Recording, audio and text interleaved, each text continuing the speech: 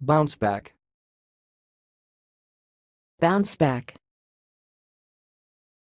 Bounce back. Thanks for watching. Please subscribe to our videos on YouTube.